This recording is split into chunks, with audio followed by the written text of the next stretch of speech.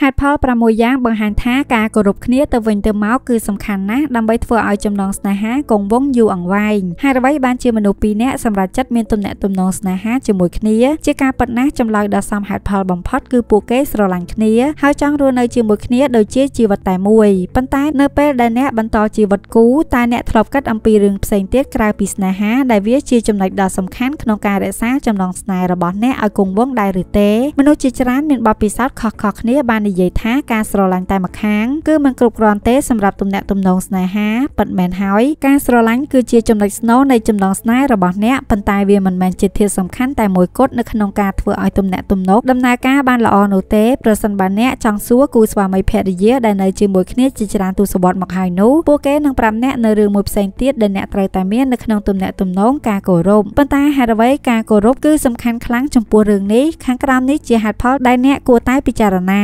1ការគោរពការមើលឃើញតាមរយៈរឿងល្អៗនិងទទួលយករឿងអាក្រក់នៅពេលដែលអ្នកស្រឡាញ់នរណាម្នាក់អ្វីដែលអ្នកឃើញគឺជាគុណសម្បត្តិល្អបំផុតទាំងក្នុងនិងក្រៅស្របគ្នានេះផងដែរអ្នកអាចនឹងមើលរំលងគុណវិបត្តិនិងចំណុចខ្សោយយ៉ាងច្រើនរបស់គេប៉ុន្តែជាមួយនឹងការគោរពគឺមិនមែនបែបនេះទេនៅពេលអ្នកគោរពមនុស្សដែលអ្នកស្រឡាញ់នោះអ្នកនឹងទទួលយកទាំងគុណសម្បត្តិនិងគុណវិបត្តិភាពជូរចត់និងផ្អែមល្ហែមល្អនិងអាក្រក់ហើយការទទួលយកនេះអ្នកទាំងពីរនឹងរៀនសម្របសម្រួលគ្នាដើម្បីរស់នៅជាមួយគ្នាបានការគោរពគឺជាធម៌ពលមួយដើម្បីរក្សាទំនាក់ទំនងឲ្យដើរទៅមុខជាមួយគ្នាកាន់តែល្អនិងបានឆ្ងាយ2ការគោរពបង្រៀនអ្នកអំពីតម្លៃនៃការអត់ធ្មត់ជាពិសេសចំពោះដៃគូរបស់អ្នកវាជាការលំបាកនៅក្នុងការអត់ធ្មត់នៅពេលមានស្នេហាជាពិសេសនៅពេលដែលអ្នកដឹងកាន់តែច្រើនអំពីគុណវិបត្តិនិងអរិយាប័ត្រមិនល្អរបស់ដៃគូអ្នកដូចគ្នានេះផងដែរមានករណីជាច្រើននៅពេលដែលអ្នកមានអារម្មណ៍ថាអ្នកបានវិនិយោគជាច្រើនទៅលើដៃគូនិងចំណងស្នេហ៍របស់អ្នករួចហើយហេតុដូច្នេះនៅពេលដែលមានចំនួនកើតឡើងអ្នកអាចមានគំនិតថានេះជាការចំណាយឥតបានការទោះយ៉ាងណាក៏ដោយជាមួយការគោរពអ្នកនឹងចេះអត់ធ្មត់មិនត្រឹមតែជាមួយដៃគូរបស់អ្នកប៉ុណ្ណោះទេប៉ុន្តែអ្នកក៏ចេះអត់ធ្មត់ជាមួយនឹងខ្លួនឯងផងដែរអ្នកត្រូវរៀនដឹងថាគ្មាននរណាល្អឥតខ្ចោះទេហើយអ្នកត្រូវតែចេះអត់ធ្មត់ជាមួយរបៀបដែលអ្នកត្រូវដោះស្រាយក្នុងស្ថានភាពដែលមិនដូចជាការរំពឹងទុកផងដែរហើយដោយពាក្យគេនិយាយថាសេចក្តីស្រឡាញ់គឺជាការអត់ធ្មត់ហើយវាគឺជាការគោរពដែលបង្រៀនអ្នកឲ្យចេះអត់ធ្មត់3ការគោរពអនុញ្ញាតឲ្យអ្នកមានការអត់ឱនច្រើនសូម្បីតែនៅពេលដែលអ្នកទាំងពីរលែងសូវជិតស្និទ្ធគ្នាក៏ដោយប្រសិនបើអ្នកធ្វើការស្ទង់មតិទៅលើគូស្វាមីភរិយាដែលបានរៀបការជាមួយគ្នារយៈពេលយូរនោះអ្នកនឹងមិនសូវបានលើពួកគេនិយាយថាស្រឡាញ់ទេផ្ទុយទៅវិញអ្នកនឹងដឹងថាពួកគេនឹងនិយាយអំពីការគោរពច្រើនជាងនេះគឺដោយសារតែស្នេហានឹងអន់ថយបន្តិចម្ដងបន្តិចម្ដងទៅតាមពេលវេលានៅពេលអ្នកនិងដៃគូរបស់អ្នកចំណាយពេលច្រើនជាមួយគ្នានោះអ្នកនឹងមានទាំងពេលរីករាយនិងពេលឆ្លោះគ្នាជាហេតុធ្វើឲ្យអ្នកទាំងពីរផ្លាស់ប្ដូរនិងចាប់ផ្ដើមមានអាកប្បកិរិយានិងអារម្មណ៍សម្រាប់គ្នាទៅវិញទៅមកប៉ុន្តែស្ថានភាពនោះទាមទារឲ្យអ្នកនៅជាប់ជាមួយគ្នាហើយបន្តដើរទៅមុខទៀតរឿងតែនេះចំពោះស្នេហាគឺជារឿងធម្មតាដែលគេនិយាយថាចានក្នុងរាវតែងតែប៉ះទង្គិចគ្នាអញ្ចឹងហើយប៉ុន្តែវាអាចត្រូវបានដោះស្រាយប្រសិនបើអ្នកទាំងពីរចេះគោរពគ្នាទៅវិញទៅមកជាមួយការគោរពអ្នកនឹងរៀនទទួលយកការប៉ັດដែលអាក្រក់ខ្លះៗអំពីដៃគូនិងទំនាក់ទំនងរបស់អ្នកហើយបន្ទាប់មកទៀត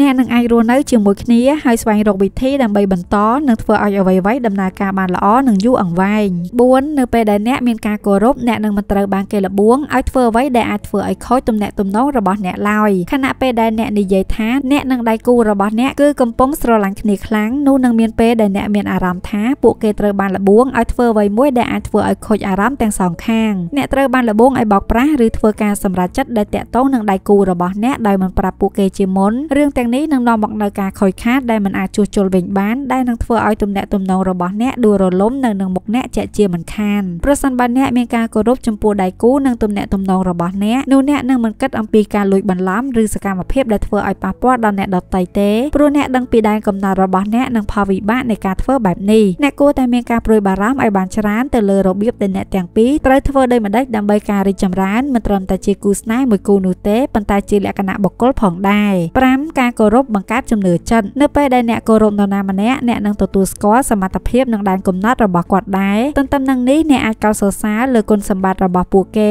និងផ្ដល់ឲ្យពួកគេនៅទំនុកចិត្តច្រើនក្នុងការដោះស្រាយស្ថានភាពផ្សេងៗតាមរបៀបដែលពួកគេគួរដោះស្រាយនេះក៏ដូចគ្នាផងដែរចំពោះដៃគូស្នេហារបស់អ្នកនៅពេលដែលពួកគេគោរពគ្នាទៅវិញទៅមកពួកគេក៏ជឿជាក់ទៅលើសុខុមាលភាពរបស់គ្នាទៅវិញទៅមកផងដែរហើយពួកគេនឹងមិនធ្វើអ្វីដែលអាចធ្វើឲ្យប៉ះពាល់ដល់ពួកគេដោយចេតនានោះទេទោះជាយ៉ាងណាក៏ដោយការជឿទុកចិត្តគឺមានការរីកចម្រើនបន្ថែមទៀតដោយសេចក្តីស្រឡាញ់ហើយដូច្នេះហើយបានជាអ្នកខ្លះជាមនុស្សតែម្នាក់ដែលផ្ដល់និងយល់ចំពោះមួយដៃគូរបស់អ្នកកាន់តែច្រើនកាន់តែល្អនេះក៏ជាមូលហេតុដែលអ្នកនឹងមានអារម្មណ៍ឈឺចាប់ខ្លាំងនៅពេលដែលដៃគូរបស់អ្នកបំផ្លាញការជឿជាក់របស់អ្នកមិនតែប៉ុណ្ណោះនៅពេលដែលការជឿទុកចិត្តត្រូវបានខូចហើយនោះអ្នកក៏បាត់បង់ការគោរពផងដែរ6ការគោរពបង្កើតស្នេហាពិតជាចុងបញ្ចប់ការគោរពនិងបង្កើតក្តីស្រឡាញ់មួយដែលល្អបំផុតវាបង្កើតក្តីស្រឡាញ់មួយដែលយល់ពីគ្នានិងទទួលយកមិនថាចំណុចល្អឬអាក្រក់ស្នេហាដែលមានរយៈពេលយូរគឺជាស្នេហាដែលអាចយកឈ្នះលើរាល់សកម្មភាពសង្ស័យទាំងឡាយនិងចំនួនដែលអ្នកនិងដៃគូមានគ្រប់ទំនាក់ទំនងទាំងអស់គឺសុទ្ធតែមានពេលល្អ